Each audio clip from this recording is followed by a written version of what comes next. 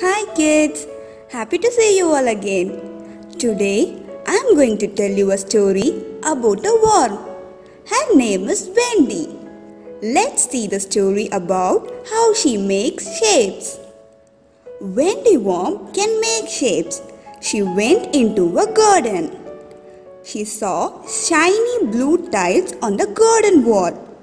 Some of these were square in shape. Wendy Worm said, can be a square. And she became a square. Wendy Worm climbed up a tree.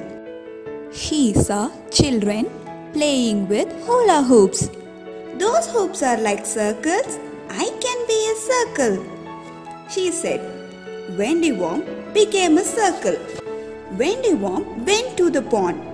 She saw bricks around it that looked like rectangles. I can be a rectangle, she said as she crawled back to her resting place. Wendy Worm saw a hill at a distance. They looked like big triangles. I can be a triangle, but I'm tired, she said, and away she went. So today, what are the shapes Wendy Worm has seen?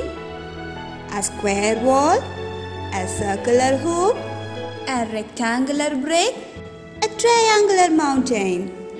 Now, what are the shapes she made? A square, a circle, a rectangle, a triangle. Bye kids. Meet you in my next video.